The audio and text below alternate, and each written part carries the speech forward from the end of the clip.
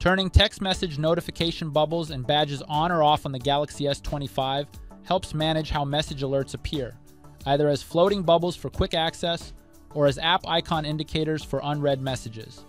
This is how it's done. To turn notification bubbles on or off, tap the home button to return to the home screen. Open the Messages app and go back to the message list.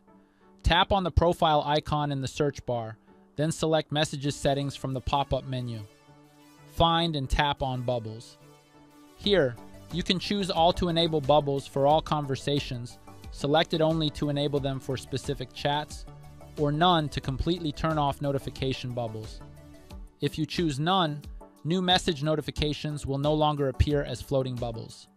Now, if you want to control notification badges, go back to Messages settings and tap on Notifications. Scroll down and tap on Badge, then toggle it on or off. When enabled, an orange dot with a number will appear on the Messages app icon, indicating unread messages.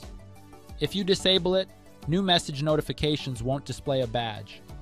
Once everything is set up the way you prefer, tap the home button to return to the home screen. And that's it. If this video helped you, don't forget to like and subscribe for more Samsung Galaxy tips. Thanks for watching.